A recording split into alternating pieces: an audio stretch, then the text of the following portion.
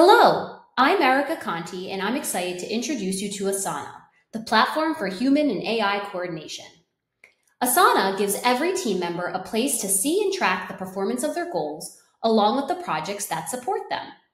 This ensures every team is prioritizing the right work, lets everyone in the business see how work is progressing, and gives folks visibility at every level of the organization to identify and tackle problems early.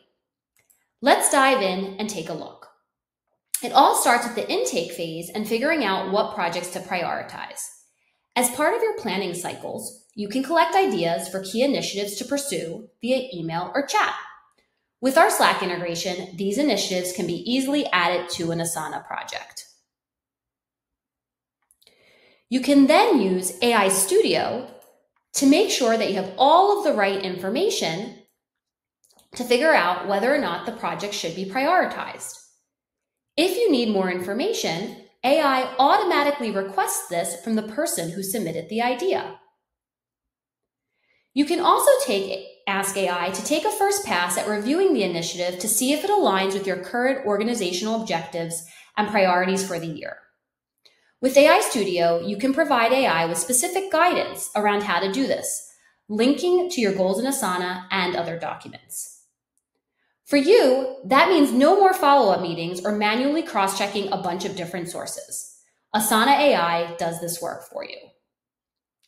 As you move into the planning phase, Asana AI shares its recommendation for each initiative for you to weigh in on, including its reasoning. If the initiative is not aligned to your current priorities, it recommends that you drop the idea or reconsider it at a later point.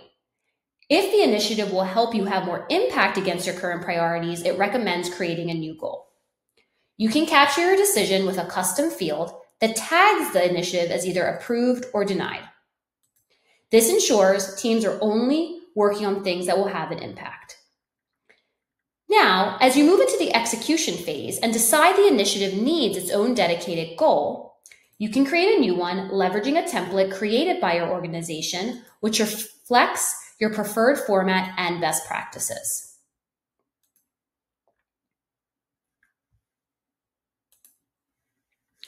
Once you've drafted your goal, AI reviews it for SMART goal best practices. Is it specific, measurable, achievable, relevant, and time bound?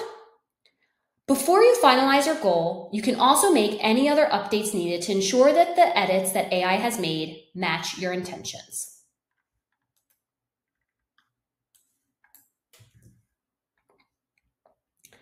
Now, with our strategy map, you can also make sure that this new goal ladders into the right organizational objective in this case, to increase the efficiency of teams across your organization. This strategy map allows all of the teams to see how you're executing against the organization strategy and which teams are owning which work streams.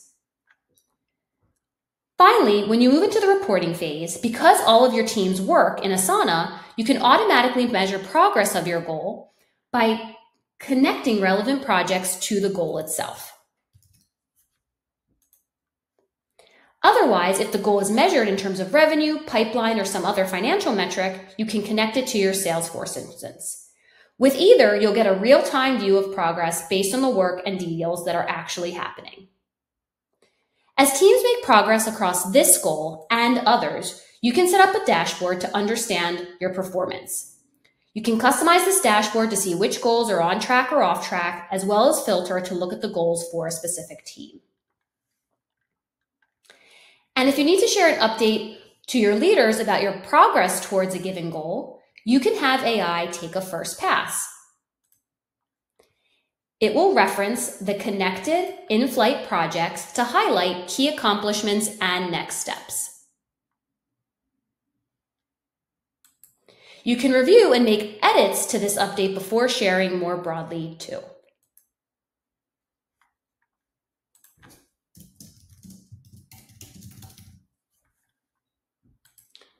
Now that's a quick overview of how to use Asana to set, track, and deliver on goals with humans and AI.